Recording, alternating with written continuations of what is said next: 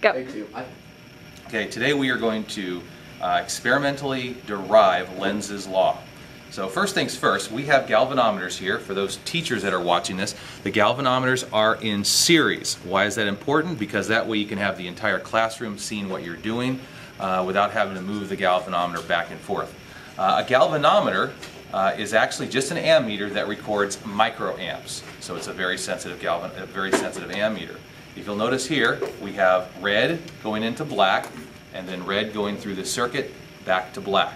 Um, what I want you to see, because some students were a little confused about this, if current goes into the black, into the red, it will come out the black. Following the circuit, it will then go into the red here and out the black here. So again, because the way that charges work, if they're going in, they must go out on the other side, otherwise the circuit wouldn't be working. So let's find out how the, uh, the, amp, the galvanometers actually work. I have here uh, a 1.5 volt battery, just a basic Duracell. Why did I pick a Duracell versus anything else? Because it has that copper top and it's very easy to see. That's the positive. I guess I could use a marker there to show that. So this shows the direction of positive current flow. That right there is a 6.6 uh, kilo ohm resistor. It's 6,600 ohms. Why? Because I have to get the current low enough so that it will read on the galvanometer and not hurt the galvanometer. So looking at the galvanometer, I'm going to connect the circuit and if the positive current is flowing into the red, it reads positive.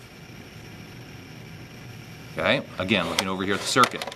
The positive current flow is going into the red side of the galvanometer. And that's why it reads again positive.